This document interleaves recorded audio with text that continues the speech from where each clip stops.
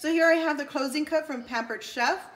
Um, I don't normally buy the tenders. I just kind of cut them myself because I have the Close and Cut. It's a lot cheaper for me to do it myself with my Close and Cut. So um, I place the chicken breast on the plate and I'm gonna press down just a little bit and then run my Pampered Chef knife through it as such and then just kind of cut in half.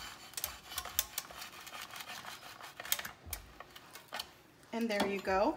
I have two slices of chicken um, from one huge breast. Thanks for watching.